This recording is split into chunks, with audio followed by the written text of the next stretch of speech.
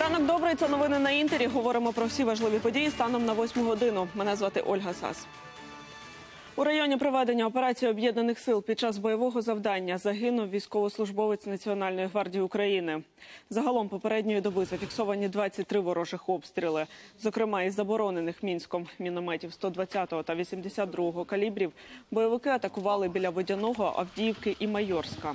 Потужні гранатомети та стрілецьку зброю ворог застосовував поблизу Кримського, Новгородського та Зайцевого. Державний депа- департамент США погодив виділити Україні 141,5 мільйона доларів на посилення безпеки та оборони, зокрема на придбання стрілецької зброї. Це підтвердив помічник держсекретаря з питань політико-військових справ Кларк Купер. Тим часом у конгресі вже заявили про розблокування 250 мільйонів доларів з бюджету Міноборони, що теж призначені на допомогу Україні.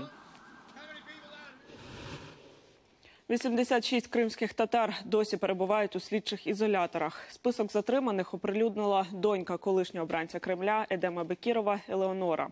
Вона закликала всіх докласти максимальних зусиль для визволення полонених. Дівчина розповіла, що окупаційна влада затримує кримських татар за сфабрикованими справами. Під час обшуків їм підкидають набої або заборонену літературу. В Крыму действительно очень сложная история. А, Я бы хотела, чтобы вы знали не только фамилию моего отца и остальных политзаключенных, которые освободили, но и эти фамилии, которые сейчас нуждаются в нашей помощи. Я э, распечатала эти фамилии и хочу вам отдать, чтобы вы э, освещали каждую, каждую семью, каждое дело, потому что они нуждаются в нашей поддержке. В Укроборонпромі напередодні провели обшуки. Як повідомив голова Державного бюро розслідувань Роман Труба, слідчі дії ведуть у кримінальній справі проти колишнього керівництва Нацбанку. Йдеться про рішення НБУ від 2016 року дозволити оборонним підприємствам виводити за кордон іноземну валюту без спеціальної згоди. На думку правоохоронців, у такий спосіб кошти могли надходити в офшори.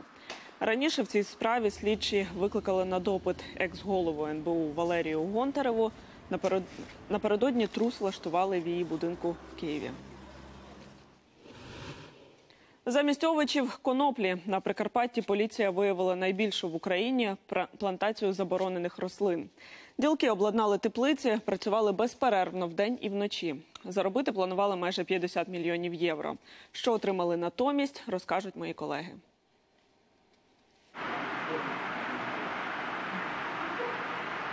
Гуцульське село Стопчарів з висоти пташиного польоту. Поруч із хатами горян сотні теплиць. Та як з'ясувалося, вирощують у них не овочі, а елітні коноплі.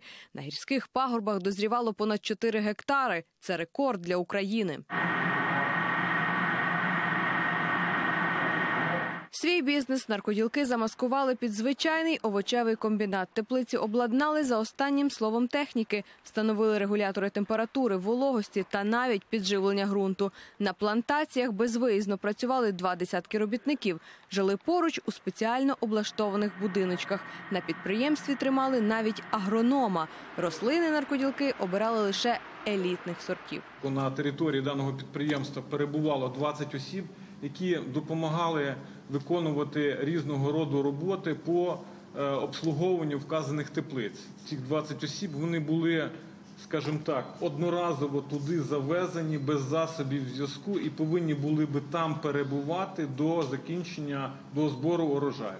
Потрапити на територію підприємства чи вийти з нього непоміченим було неможливо. Будівля зусібіч обставлена десятками камер. Вхід охороняли службові собаки. Коноплі переробляли на марихуану та продавали в рази дорожче за кордон. Як саме переправляли, з'ясовує поліція. Загальна сума вилучених наркотиків 50 мільйонів євро. Під час обшуку було виявлено близько 100 тисяч рослин коноплі, а також вже готового наркотичного засобу приблизно 1200 кілограм. Наркодилерів поліція вже затримала. Це троє горян місцевих жителів. Кожен відповідав за свою ділянку роботи. Один орендував теплиці, другий стежив за охороною, третій контролював процес вирощування трави. Тепер їм загрожує до 20 років в'язниці. Галина Якушко, Жанна Дучак, Зиновій Автонас. Новини телеканал Інтер, Івано-Франківська область. У Перу збираються знищити незаконні плантації коки. Передусім йдеться про гірський регіон. Там в- в- виробляють 70% цього наркотику в країні. Перший етап розпочнеться 1 листопада і триватиме півтора місяця. Усього потрібно буде знищити 24 тисячі гектарів коки. Кілограм рису за 2 кілограми сміття. Такий бартер влаштували на Філіппінах. Так місцеві жителі намагаються очистити довкілля від пластику. Влада у столиці проблемою не переймається, тому за неї взялися активісти. Кажуть, і природу рятують, і бідних годують. Докладніше далі в сюжеті. Вероніка Долоріко називає себе екоматусею. Щодня вона проходить вулицями містечка Баянан, що неподалік столиці Філіппін, і збирає пластикове сміття. Мішки приносить на спеціальний пункт обміну. Я назбирала 14 кілограмів відходів і натомість отримала 7 кіло рису. Цього моїй сім'ї вистачить на тиждень. Для нас це неабияка допомога. Програму Пластик в обмін на їжу три місяці тому запустила місцева влада. Кажуть, споживання шкідливих матеріалів це не зменшує, але хоча б навчає людей правильно їх утилізувати. Люди неохоче долучаються до ініціатив, якщо не мають стимулу, тому нам спала ідея платити людям за цю роботу. Мені здається, це правильний підхід. Завдяки такій ініціативі активісти лише за серпень зібрали 213 кілограмів пластику. Найактивніші учасники програми бідні жителі. Для них це можливість зекономити на їжі, адже кілограм рису на Філіппінах коштує близько долара. Для малозабезпечених людей це задорого. Водночас Вероніка зазначає, дехто з її оточення сприймає цю ідею неохоче. Довкола нас стільки непотребу, я прибираю, що не маю змогу. Але моя сестра, наприклад, іноді каже: ну що ти знову носишся із цим сміттям? Просто викинь його. А я відповідаю: якщо не допомагаєш, то хоча б не заважай. Цей бруд на вулицях як більмо на оці. Острівні Філіппіни, за даними екологів, один із найбільших забрудників океану у світі. Відходи руйнують корали, через це деякі види риб вимирають. Однак альтернативи пластику тут наразі не знайшли. Пляшки та пакети для нас поки що найкраща упаковка. Наприклад, я не можу взяти в магазині паперовий пакунок, бо в нас часто йде дощ. Якщо такий пакет намокне, всі покупки просто випадуть. Тому справді гідної альтернативи поки що немає. Влада Філіппін ухвалила низку законів щодо утилізації сміття, однак їх досі належним чином не впровадили. Катерина Єлісєєва, новини телеканал Інтер. У Херсоні 17 пар відсвяткували золоті та діамантові весілля. Це місцева традиція. Молодят поважного віку вітають на день міста. Більше розкажуть наші кореспонденти. Так, ну як я? Нічого, так? Да? Цей день весілля для пані Ніни такий же радісний і бентежний, як і 50 років тому. Квіти, сукня, тільки замість подружок нареченої онуки. Зі своїм майбутнім чоловіком жінка познайомилася ще в школі. Багаторічна дружба переросла в кохання. Тепер пара переконана, їх звала доля.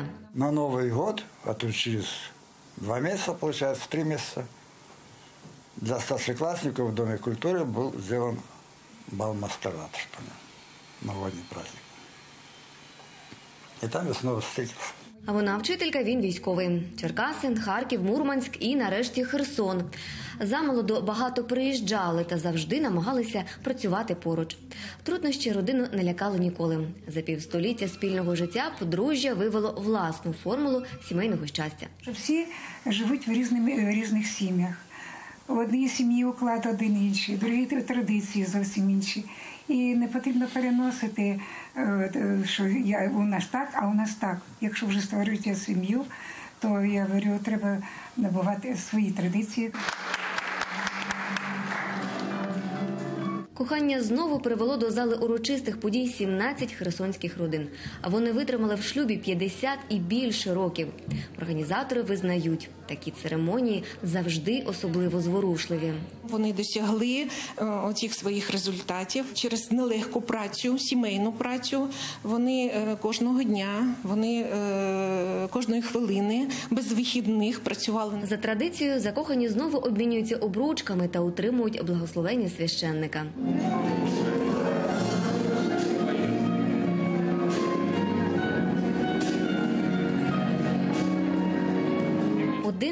Келих шампанського на щастя, і молодята вже кружляють у весільному вальсі, і вкотре промовляють заповітні для кожного слова.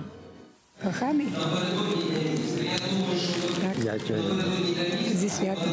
Марина Михайловська, Олексій Уманський. Новини телеканал Інтер. Херсон. Нехай останнє повідомлення у випуску налаштує вас на романтичний лад. Не забудьте сьогодні сказати важливі слова тим, кого любите. До зустрічі о 9